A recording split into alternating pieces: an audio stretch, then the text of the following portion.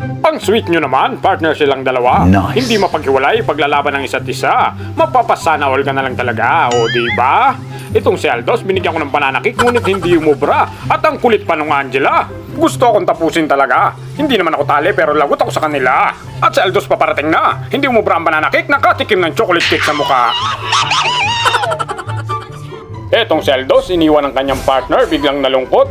Yung mukha niya parang papel na nilukot. Nakatikim ng kaliwat kanan tadyak sa pakat sa bunot. Naglaglagan ang ngipin pati yung mga bulok na bagang nahugot. Hoy mga idol! Gamit ko nga pala dito yung problemado, este probinsyano, si Kuya Cardo. Grabe yung baril nito, hindi naubusan ng bala. Parang si Lito Lapid lang, may patambling-tambling pa. Napakatapang, wala kahit konting kaba. Tago sa mga bala kahit may anting-anting ka pa. Yeah!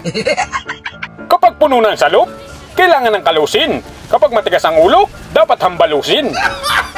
Ano mga halimaw, hindi na kayo sisikatan ng araw. Yung mga balat nyo parang luyang dilaw. Isang bala ka lang, isang balang ligaw. At marami pa kayong kakaining bigas. Sinaing na hilaw. At ayun, naglaro kami dito ni Idol. Tapos nakilala kami ni Angela. Feel ko legit yung dalawang yan. Basta sa TikTok, nakikita ko yung lagi eh. Legit, legit nga siya, oh my.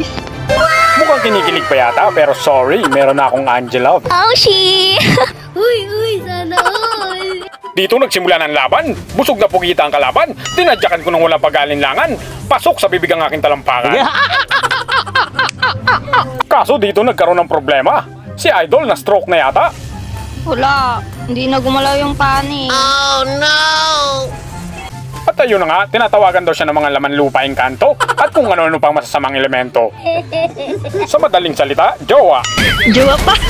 Pero walang magagawa kundi lumaban tayo. Pero okay lang matalo, ang mahalaga masaya tayo.